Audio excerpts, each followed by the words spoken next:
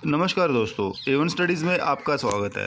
तो दोस्तों, आज आपके लिए बहुत ही अच्छी गुड न्यूज़ लेके आए हैं। वो गुड न्यूज़ ये है कि एस्टेट 2019 के जो एग्ज़ाम 16 और 17 नवंबर को होने जा रहा है, उसके एडमिट कार्ड आउट हो चुके हैं। एडमिट कार्ड आ चुके हैं, वो कहाँ से डाउनलोड करने और कैसे डाउनलोड करने हैं, ये सब जानने के लिए इस वीडियो के साथ एंड तक ज़रूर बने रहिए। तो दोस्तों वीडियो स्टार्ट करने से पहले आपको बताना चाहता हूँ, अगर आपने चैनल को सब्सक्राइब नहीं किया तो सब्सक्राइब कर ले और साथ ही साथ वीडियो अच्छी लगे तो वीडियो को लाइक करना मत भूलिएगा। तो दोस्तों, अब वीडियो स्टार्ट करते हैं और सबसे पहले हमने करना क्या? हमने जाना है एस्टेट ऑनलाइन की ऑफिशियल वेबसाइट के ऊपर एस्टेट की, जहाँ पे हमने एस्टेट के फॉर्म अप्लाई किए हैं। एस्टेट ऑनलाइन डॉट कॉम आपको ये गूगल पे लिखोगे, यहाँ डायरेक्ट लिखोगे तो आपको ये लिंक ओपन हो जाएगा आपके पास।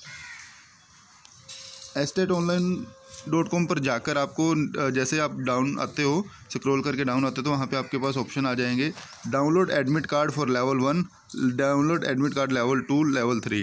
ठीक है दोस्तों तो आपने जिस लेवल के लिए अप्लाई किया हुआ है, उसी के ऊपर आप क्लिक करते हैं, जैसे डाउनलोड लेवल वन के लिए करते हैं।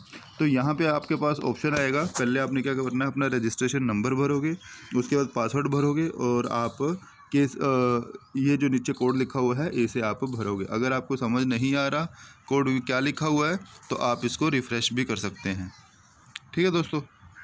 तो ये थी अपडेट एस्टेट के रिगार्डिंग के एडमिट कार्ड आ चुके हैं, इनको आप डाउनलोड कर सकते हैं। तो दोस्तों, अगर डाउनलोड करने में कोई, किसी प्रकार की कोई प्रॉब्लम आती है तो आप कमेंट बॉक्स में राइट डाउन कीजिए, आपको उसका सोल्यूशन प्रोवाइड किया जाएगा। थैंक यू फ्रेंड्स वीडियो अच्छी लगे तो वीडियो को लाइक करना मत भूलिएगा। Thank you